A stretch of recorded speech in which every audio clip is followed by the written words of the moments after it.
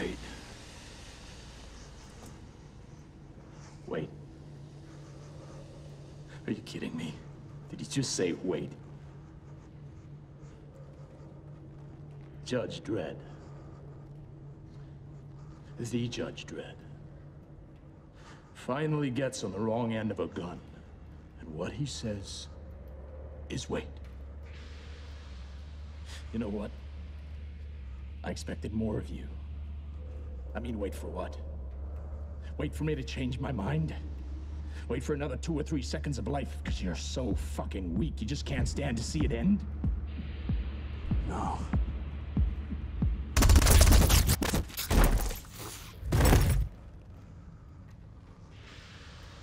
Wait for her to shoot you.